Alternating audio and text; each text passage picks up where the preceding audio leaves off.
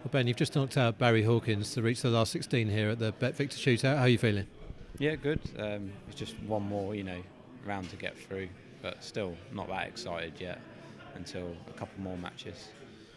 It's an unusual format, isn't it? Because obviously, most events, if you're still here on the Sunday, then you, you're, you're in the final. But there's still 16 players still to go um, tonight. So, how do you kind of cope with that, that kind of format? Um, yeah, just try and enjoy it out there, the 10 minutes. I'm always relieved when the 10 minutes is over. Um, but yeah, just be uh, trying my best next game. Yeah.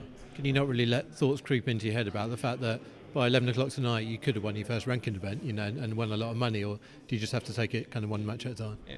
I don't think it would come into my head until probably the semi-final. It might do that you know you're close, but at the moment, still feel a long, long way away. Yeah.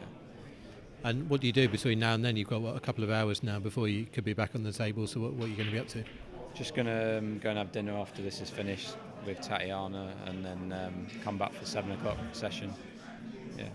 And as you mentioned, Tatiana, your wife, she's she's refereeing at this tournament. Is it difficult for her because obviously she doesn't referee your matches, but she'll be refereeing, and then maybe backstage while you're playing your matches? Is it difficult for the two of you to kind of cope with that side of things? It doesn't bother me, even if she's in there, but she really doesn't. She she can't watch it, and especially here, you can't get away from it. Even if you're not watching, you can still hear from the crowd probably who's winning.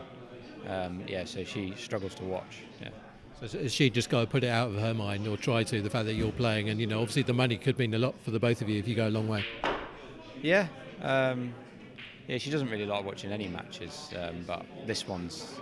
See, I, I don't really feel nervous too much about it yet because the money doesn't really jump until for another couple of rounds. So when it gets to that stage, it might feel a bit different.